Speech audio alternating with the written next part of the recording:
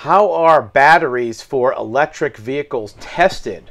It's kind of a mystery. Well, fortunately, there's a procedure for this.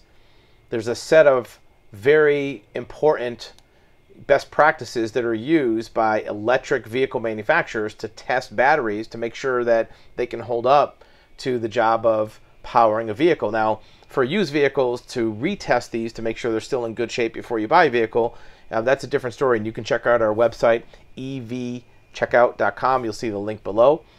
But many of the testing procedures should be the same. You want to make sure that the battery is in good condition for an electric vehicle.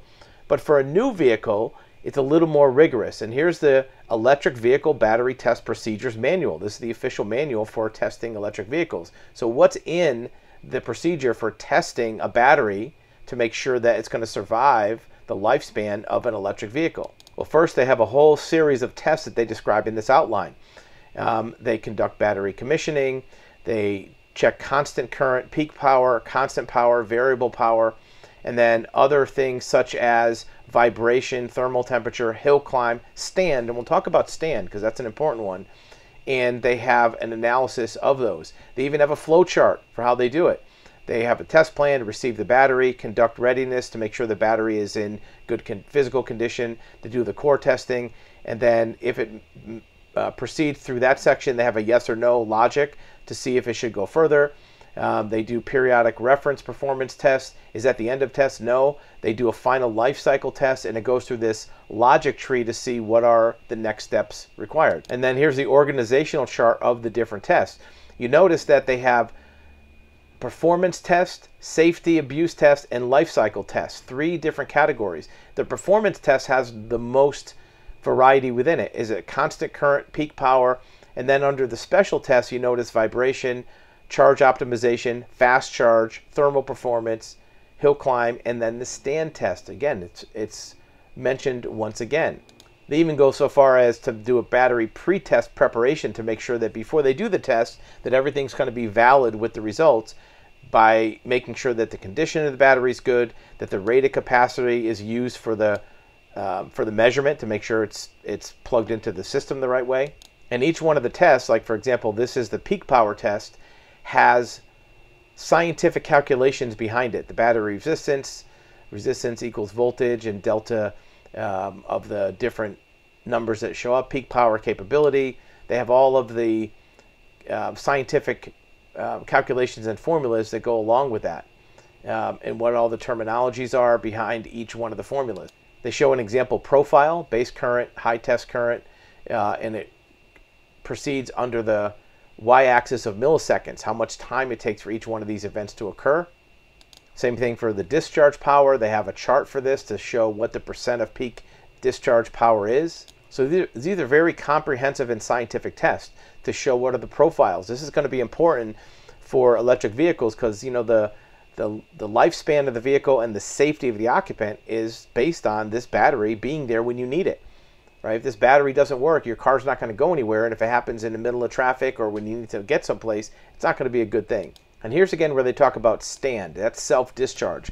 What happens when a car is parked for a long period of time to the range or charging state of the battery? If you take a gasoline vehicle and you put it in a parking lot and you let it sit there for two months, the amount of gas in that gas tank isn't going to go anywhere you still have the same range when you get in, start up, and drive away.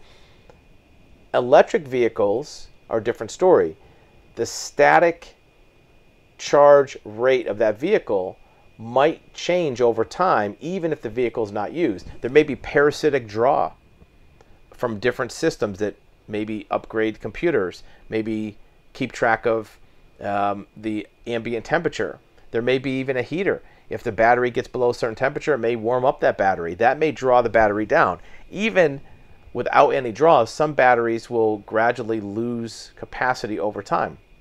That's going to be something to know about because cars aren't always used and charged all the time. You want to make sure that the self discharge is not going to be a problem. And then, of course, vibration. Cars, by definition, are different than you know a battery and a smoke detector at your house or in your TV or even in your phone right? Because your phone is in your pocket. It doesn't have the same type of vibration as a car bouncing over potholes going down the road. Vibration can affect the structural integrity of the cells in a battery and even change the molecular breakdown of the components in a battery. And over time, that could reduce the lifespan and longevity of the battery unit which powers the car. So how do they do that battery vibration test? It's to characterize the effect of long-term road-induced vibration and shock on the performance and service life. For testing efficiency, a time-compressed vibration regime is employed. What does this mean? Time, uh, time compressed. Well, you don't want to see how a battery's going to last over 10 years by testing it for 10 years. You're going to compress that time into a shorter period of time. You want to do it over a three axial direction because vibrations of a car happen in all different directions. And if you only sh shook it in one direction, you may not get the right, um, the right performance results. And they have shaker tables, right? Exactly what it sounds like. It's a table that shakes, and you can test it on that, um, on that regime. And they use different sine waves. Is the vibration slow? Is it fast? Is it um, jumbled up? Is it regular or not regular? And all those can affect the chemistry of a battery. And here's an example of those sine waves. 60 sine wave sweeps from 10 hertz up to 190 hertz. Frequency range, peak acceleration, that's how abrupt and how severe the each one of those shakes is. Lateral axis, vertical axis. Uh, so it's complicated. You know, they do these uh, vibration tests considering it's a very important um, design feature of that battery. Here's a sample results profile from cumulative exposure to vibration, peak acceleration in G's, what happens to the cumulative occurrences per axis, so you can do the test according to what the scientific profile should be. Part of the special testing also includes safety and abuse testing. This is something where you want to look at what's called a worst case accident, an unintentional abuse, like you drive over a rock, um, you have debris on the road or the vehicle is impacted. Part of it is to make sure the battery is most survivable, but because of the fact that a battery is a high energy device, you also want to look at safety, meaning that if the battery is impacted, is it going to create a safety hazard for the occupants or rescuers or first responders? Gasoline in a gas tank has the same thing. If you breach a gas tank, gas spills on the ground, it can catch on fire and burn people in the vicinity.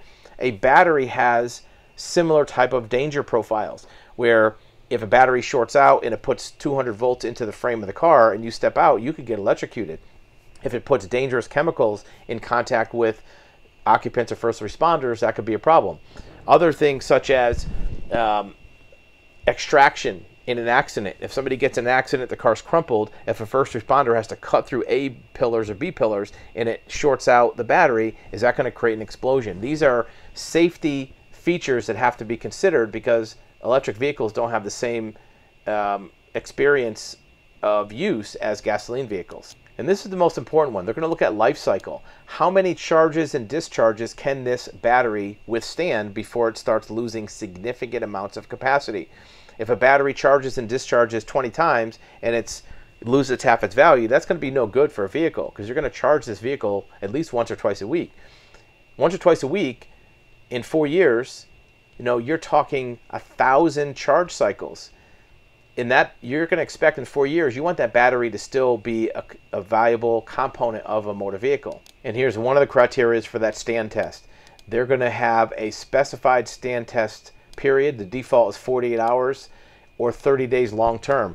In our opinion, 30 days is not long enough. I mean, you could go and you could park your car when you go on vacation. Maybe it's a second vehicle at a second home uh, maybe it's not used frequency. It could easily go. There's a lot of cars that go beyond 30 days without use. So you want to make sure that the actual use or maximum use is considered for these different types of tests for an electric vehicle battery.